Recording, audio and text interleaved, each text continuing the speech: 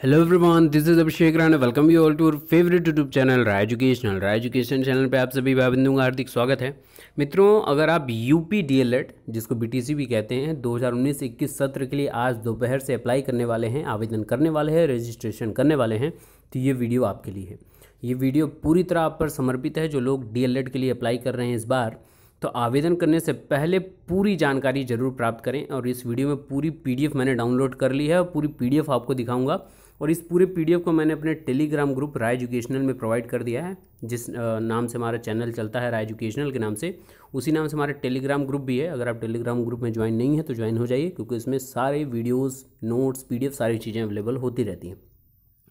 तो यहाँ पे पीएनपी के द्वारा जो पीडीएफ प्रोवाइडेड की गई है कल, वो पूरी पीडीएफ मैंने अवेलेबल करा दी है और इस वीडियो इस पीडीएफ को आप टेलीग्राम ग्रुप से प्राप्त कर सकते हैं फ्री में। तो पीएनपी द्वारा निर्देशित पीडीएफ ज़रूर ज़रूर ज़रूर पढ़ लें और ये योग्यता जिनके पास है, वहीं अप्लाई कर सकते हैं। जिनके पास ये टर्म्स एंड कंडीशंस नहीं हैं, जो इसमें दी गई वांछित आपके पास योग्यता नहीं है तो आप इसके लिए अप्लाई नहीं कर सकते हैं। तो बहुत विशेषता ध्यानपूर्वक समझिएगा। बहुत इंपॉर्टेंट वीडियो आप लोगों के लिए समर्पित है। तो बहुत इंपॉर्टेंट होने वाला है। वीडियो सेशन वीडियो लास्ट तक देखिएगा। जितना ज़्यादा हो सके शेयर करिएगा। तो चलिए वीडियो शुरू करते हैं।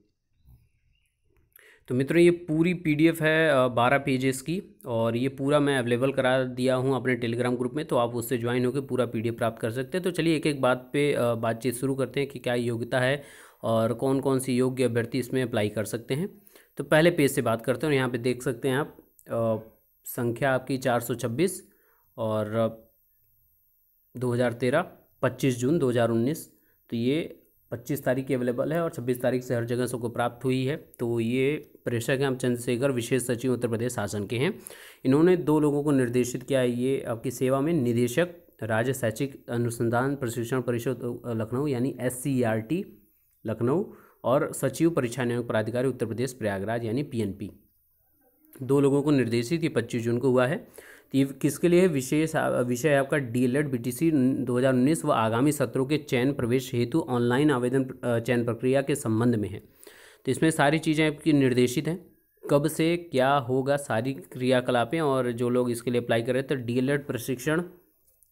और यहाँ पे है कि प्रदेश में प्राथमिक स्तर पर शिक्षक प्रशिक्षण का सेवापूर्ण सेवा पूर्व दो वर्ष वर्षीय प्रशिक्षण कोर्स होगा, जिसे पूर्व में प्रदेश में basic teacher certificate BTC basic teacher certificate प्रशिक्षण के नाम से जाना जाता था।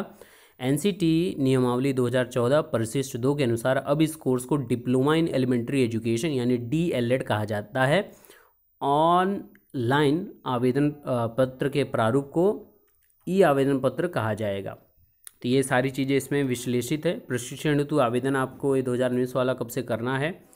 अब यहाँ देखिए, आवेदकों द्वारा किसी भी एक जनपद अथवा गृह जनपद से एक ही आवेदन किया जाएगा।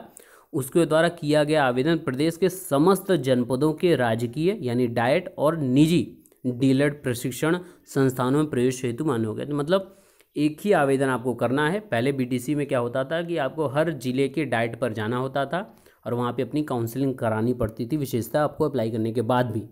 तो अब यहाँ पे कि आप अपने ज़िले से, जिस जनपद में आप बिलोंग करते हैं उस जनपद से आप फॉर्म तो फिलअप करेंगे ही, लेकिन आपका जो फॉर्म होगा, वो जब काउंसलिंग करेंगे तो आप अपनी वरीता क्रम यानी चयन सूची के आधार पर अपनी वरीता देंगे और आपका पूरा जितने पचहत्तर ज़िले हैं सबके लिए एलिजिबल होगा। आपका एक ही आवेदन।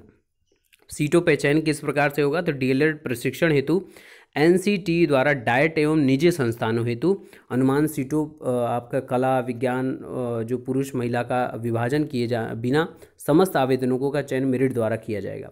तो यहाँ पे आप ये देख सकते हैं, यहाँ पे दिया हुआ है सीटों का चयन किस तरह से होगा कि डाइट या निजी संस्थान में सीटों पर कला, विज्ञान और पुरुष महिला का विभाजन किए बिना समस्त आवेदकों का चयन मेरिट द्वारा किया जाएगा। ये आपके लिए स्पेशल है।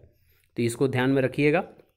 दूसरा इसमें दिया गया है कि एनसीटीई से मान्यता तथा प्रदेश शासन से संबंध प्राप्त ऐसी निजी संस्थानों जो केवल महिलाओं हेतु हैं, में महिला अभ्यर्थी ही चयनित की जाएँगी ये भी। तो ये दो चीज़ इंपॉर्टेंट है। पहले में क्या है कि कला, विज्ञान इस आधार पर और महिला पुरुष इस आधार पर ना चयन होकर आपकी मेरिट के अनुसार पहला जो पॉइंट है वो चयन होगा। और दूसरा है जहाँ पे बस महिलाओं के लिए सीट है तो वहाँ बस महिला अभ्यर्थी ही चयन की जाएँगी। और आयु और आयु सीमा के बारे में यहाँ पे है तो अर्हता क्या होगी और निवास का क्या है? तो पहले शैक्षिक अर्हता के बारे में जान लें।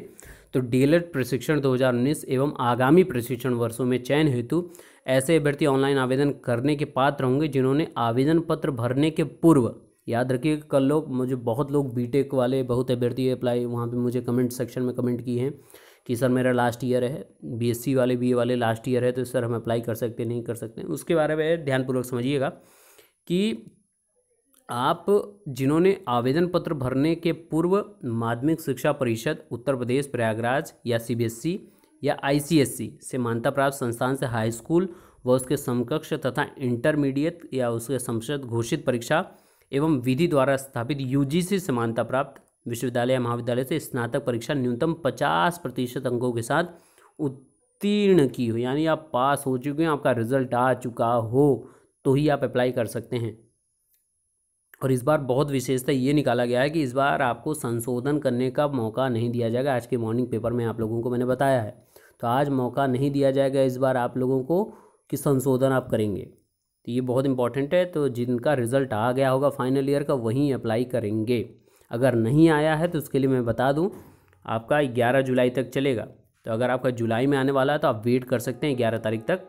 अगर आपका जुलाई में आ जाता है तो बहुत अच्छा तब आप अप्लाई करिएगा। उसके पहले क्योंकि आपके पास रिज़ल्ट नहीं होगा, आपकी मेरिट टोटल नहीं होगी आपके पास, कितना आपका पूर्णांक है, कितना प्राप्तांक है तो आप कैसे अप्लाई करेंगे, ये सबसे बड़ा प्रश्न चिन्ह है। इसके अलावा आप अनुसूचित जाति एस सी एस टी या आप ओ बी सी विकलांग पी एच हैं, स्वतंत्रता संग्राम सेनानी हैं, भूतपूर्व सैनिक स्वयं हैं तो अभ्यर्थियों को न्यूनतम अंकों में पाँच प्रतिशत की छूट दी जाएगी आपको। तो पाँच परसेंट का जो छूट है न्यूनतम अंकों में, वो आपको दी जाएगी। और आपका ये प्रारूप यही होगा, ten plus two plus three वाला। ठीक है? प्रणाली इसी पे लागू होगी पूरी आपकी मेरिट। और आगे आयु वाला है तो आयु में आपकी एक जुलाई को आपके अट्ठारह वर्ष से आप पैंतीस वर्ष के बीच में होने चाहिए। इसके अलावा आप एस सी हैं तो जो दो वर्ष, तीन वर्ष और पाँच वर्ष का जो भी आपको टोटल मिलता है, वो आपको छूट ज़रूर मिलेगी। निवास की अगर बात कर लें यहाँ पे तो ऐसे अभ्यर्थी आवेदन पत्र प्राप्त होंगे, इसके लिए पात्र वहीं होंगे कि जो उत्तर प्रदेश के स्थायी निवासी हों, सबसे पहली बात।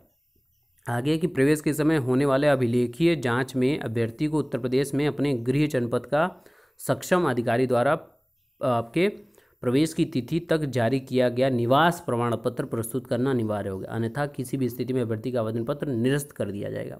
तो आप यहाँ पे स्थायी निवासी हों और स्थायी निवासी कैसे होता है? आप कम से कम पाँच वर्ष से यहाँ पे निवास कर रहे हो और आपका गृह जन, जनपद में जहाँ से अप्लाई कर रहे हो, वहाँ पे आपका मकान हो स्थायी रूप से। तो आपको निवास प्रमाण पत्र आपको ज़रूर दिखाना पड़ेगा।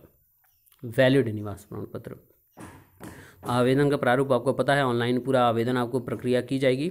और निक्स के द्वारा की जाती है एन वेबसाइट के द्वारा सारी चीज़ की जाती है। और इसमें बहुत ढेर सारी चीज़ें हैं, आप इसको अच्छे से पढ़िएगा। मैं फ्री में तो पूरा टेलीग्राम ग्रुप में इस पीडीएफ को अवेलेबल करा ही दिया है। और चयन क्या होगा, आपको देखिए चयन का प्रक्रिया क्या होगी। अभिलेखों की जाँच वैसे ही हो जाएगी, आपकी जो राउंड काउंसलिंग होगी। दो काउंसलिंग की बात की जा रही है। एक आपकी चार पाँच अगस्त को कंप्लीट कर दी जाएगी, छः तारीख से आपके सारी चीज़ें स्टार्ट हो जाएँगी। और दूसरा आपका फिर ऑनवर्ड हो जाएगा, यानी तीस अगस्त तक आपकी सारी क्रियाकलाप दो काउंसलिंग में ही कंप्लीट हो जाएँगी। तो उम्मीद ये है कि इस बार ज़्यादा लोग अप्लाई करेंगे ही। जिस हिसाब से देखा जा रहा था कि बीएड की तरफ़ रुझान बढ़ रहा है, बढ़ रहा है। हालाँकि एक स्थिति में हाँ थोड़ा सा लेवल बढ़ा है, लेकिन जिस हिसाब से बहुत ज़्यादा लोगों ने, साढ़े छः लाख लोगों ने आवेदन किया, फिर साढ़े पाँच लाख पाँच लाख छाछठ हज़ार लोगों ने परीक्षा दी तो उस आधार पर एडमिशन लेने वाले उतने ज़्यादा मात्रा में नहीं हैं। और जैसे कहा जा रहा है, वो लोग बीटीसी की तरफ़ रुझान पहले भी था और अभी भी देखने को ज़रूर मिलेगा। और, नीचे पूरा एक, पूरा टेबल बना हुआ था जिसमें आप लोगों को पूरा हाँ पेमेंट का स्ट्रक्चर यही है। ओबीसी और सामान्य के लिए आपका पाँच सौ रुपये है एस सी के लिए तीन सौ रुपये और पीएच के लिए सौ रुपये है आपके लिए। और ऑनलाइन ही सारी चीज़ें होंगी यहाँ पे। और आरक्षण, वही है आपका आरक्षण जिस हिसाब से एस सी के हिसाब से दिया जा रहा है तो वो सारी चीज़ें यहाँ पर हैं। प्रवेश प्रक्रिया में आपका यहाँ आप देख सकते हैं क्या कि परीक्षार्थियों के प्रशिक्षण हेतु संस्थान आवंटित किए जाने के पश्चात प्रवेश चयन का समस्त संबंधित जिला आपके प्रशिक्षण संस्थान या ज़िले के प्राचार्य के नियम को नियमों के अनुसार ही किया जाएगा। आपके अनुसार कोई चीज़ में बदलाव नहीं जाएगी। वो अगर वो चाहते हैं तो वो सारी चीज़ें वो देखेंगे। तो कॉलम वन और कॉलम टू में ये सारे डाइट के नाम दिए हुए हैं। और इसमें ही आप सारी चीज़ें उक्त जनपद किसी भी अविभाजित या पूर्व मूल जनपद का हिस्सा है, कॉलम टू जो है। और कॉलम वन में क्या है कि आपके जहाँ जिला शिक्षा प्रशिक्षण संस्थान डाइट की स्थापना नहीं हो सकी है तो ये आपके कॉलम वन के जितने हैं, आपके कॉलम टू में ही इनके क्रियाकलाप होंगे। जैसे आप वाराणसी डाइट का देखते हैं, जो सारनाथ डाइट है, वहाँ भदोही का भी माफ़ करिए, भदोही नहीं आपके बगल के जनपद का चंदौली जनपद का, वहीं पे भी काउंसलिंग होता था। तो सारी प्रोसेस क्योंकि वहाँ पे डाइट का निर्माण नहीं हुआ था। ऐसे यहाँ पे कॉलम वन के आप अगर हैं तो ये उम्मीद करूँगा कि आपका जो भी चीज़ें होंगे, सत्यापन होगा। यहाँ पे आप देख सकते हैं कॉलम टू के जितने डाइट हैं वहाँ पर। तो बहुत इंपॉर्टेंट ये पीडीएफ है, पूरा प्राप्त करके अच्छे से पढ़ लीजिएगा। और शुल्क की अगर प्रशिक्षण शुल्क की बात करूँ तो आप अगर प्राइवेट में रहेंगे, इकतालीस हज़ार रुपये, और आपको गवर्नमेंट कॉलेज मिल जाएगा तो दस हज़ार दो सौ रुपये। इसके बाद वीडियो बनेगी कि कितने पे कितने पे चयन होगा, कितने पे मेरिट बनेगी, इसकी भी जल्दी वीडियो आपको मिल जाएगी। तो बने रहिएगा हमारे साथ। तो चैनल को सब्सक्राइब नहीं किया है तो सब्सक्राइब कर लीजिएगा। आपको लेटेस्ट वीडियोस की नोटिफिकेशन सबसे पहले मिलती रहेगी और आप वीडियोस देख के अपना पूरी जितने भी आपके शंस हैं उसको दूर कर सकते हैं। तो आगे इसमें हमको देखना है कि और क्या एक टेबल और एक चार्ट इंपॉर्टेंट था जिसको आपको दिखाना था मुझे। तो देख लीजिए, ये शुल्क जो आपका लगता है टोटल क्या क्या इसमें शुल्क में होता है? वैसे मेंशन तो कहीं दिखता नहीं आपको डायरेक्ट बस फ़ीस पेमेंट होती है। तो ये पूरी चीज़ें आपकी इसमें मेंशन होकर तब आती हैं आपकी टोटल फ़ीस दस हज़ार दो सौ रुपये और आपकी जो छात्रावास शुल्क है और अगर आपको मिलता है तो इसका अलग से ये, अलग होता है दस हज़ार दो सौ के अलावा। और डेट आपकी यहाँ पे है छब्बीस जून से आज से दोपहर से स्टार्ट हो जाएगा और लास्ट डेट आपकी ग्यारह जुलाई है। बाकी आपके जो भी प्रश्न हों व्यक्तिगत प्रश्न ज़रूर पूछ लें मुझसे। प्रशिक्षण आपसे कब से स्टार्ट हो जाएँगे?